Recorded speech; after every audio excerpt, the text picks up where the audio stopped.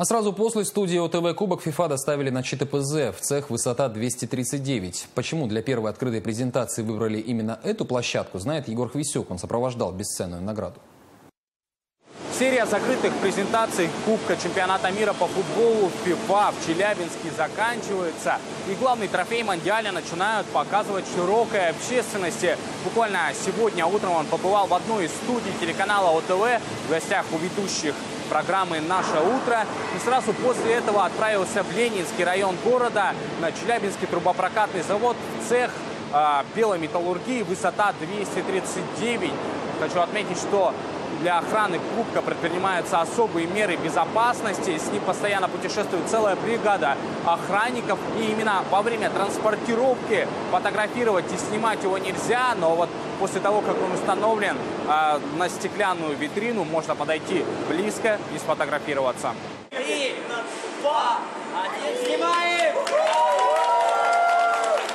Помимо сотрудников Челябинского трубопрокатного, возможность увидеть легендарный трофей получили также воспитанники местной детской спортивной школы по футболу «Восход». И хочу отметить, что отличие от закрытой презентации видно сразу же. Ребят фотографируют представители организаторов, и через несколько секунд они уже получают в руки распечатанный э, снимок с кубком.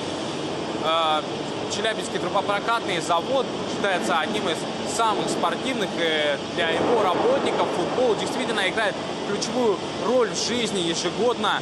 Э, здесь проводится внутренний чемпионат по футболу. Именно поэтому на презентацию Кубка э, сборная команда цеха высота 239 пришла не в привычных белых халатах, а в своей спортивной форме.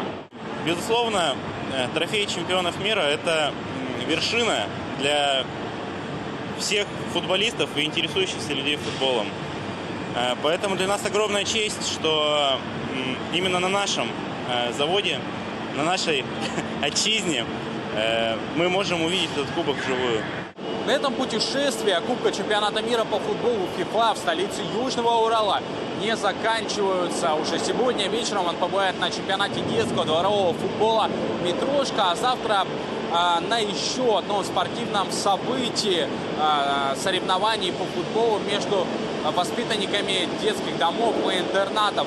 Кроме того, 22, 23 и 24 числа а, кубок привезут в торгово-развлекательный комплекс «Алмаз». И там сфотографироваться с ним возможность получит любой желающий горожанин. Сразу же после этого Кубок отправится в дальнейшее путешествие тура и посетит еще 13 городов страны. Егор Хвисюк, Борис Абрамов, ОТВ.